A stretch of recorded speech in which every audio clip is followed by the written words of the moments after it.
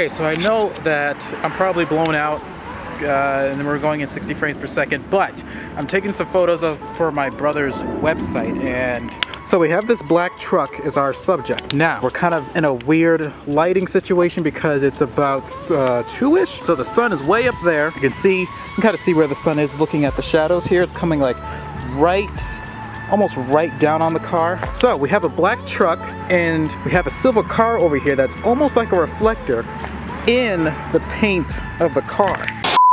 Okay, so a little a little caveat. I am editing. Okay, I'm editing the video that you guys are looking at right now. Right there, there it is. The camera, the the back of the screen was super blown out, so I couldn't see half the stuff I was talking about.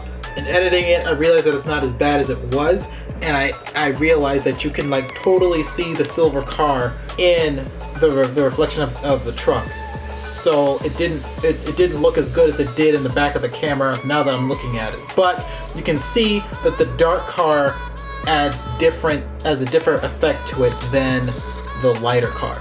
Okay, so that's that's that's the caveat. That's the thing I just wanted to say before you guys continue. All right, let's continue.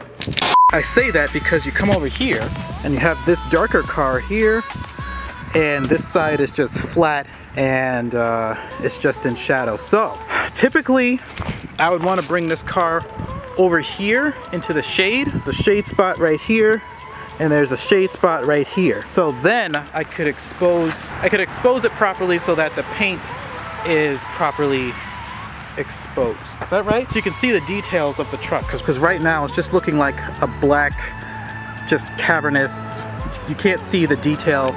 You can't see that this actually is, I don't know if you guys can see that actually is like a metallic paint and that's really not showing off right now.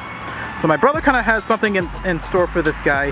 He wants to take the truck, put a full wax on it, and I'm thinking maybe when he does that, that I will take it.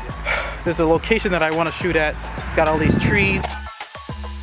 So maybe in fall time, take that over there and it should look pretty cool. So I just wanted to show you guys that little example uh, real quick. Hopefully, hopefully this is usable and it's not super blown out.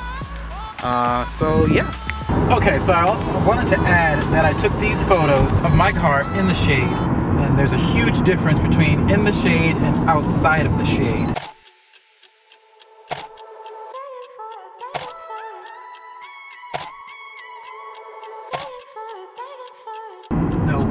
In the shade and in direct sunlight. Um, so I wish I could have gotten the car in the shade, but we'll see how the photos turn out. Maybe after a little bit of editing, uh, they would have turned out okay. So that's pretty much it for this video. I don't know when you guys are seeing this actually. So if this is the end of the video, thank you guys for watching. I'll see you guys in the next video, or I don't know where else I'm gonna see you, so I'll just see you in the next video.